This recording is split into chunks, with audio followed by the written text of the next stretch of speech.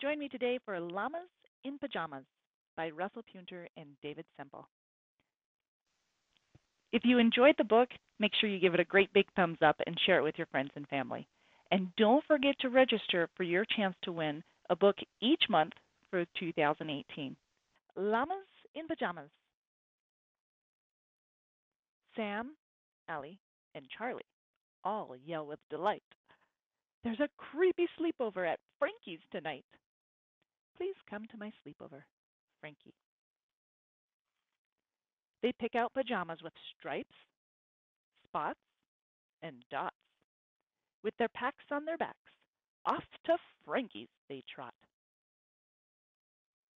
Into Frankie's big bedroom run three jolly llamas. Hey guys, shouts Frankie, check out my pajamas. Sam's pair is frilly. Allie's are new. Charlie's look silly. And Frankie's are blue. They play games by flashlight. Ooh, Frankie wails. Let's stay up till midnight and tell spooky tales.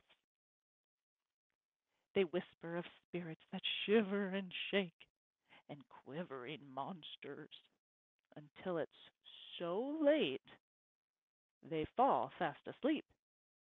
But wake with a jump. The floorboards are quaking. Just listen. Thump, thump.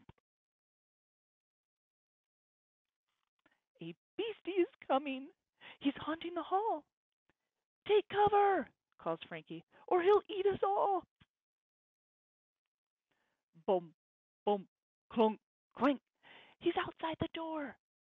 They hide under blankets and slide to the floor. Goes the door. It opens a crack. In creeps Frankie's grandma with a great midnight snack. Llamas in Pajamas. Again, that's an Usborne book. And if you like it, like it, give it a great big thumbs up, and share it with your friends and family. And of course, don't forget to register to win for this month's drawing here at Reading Children's Books.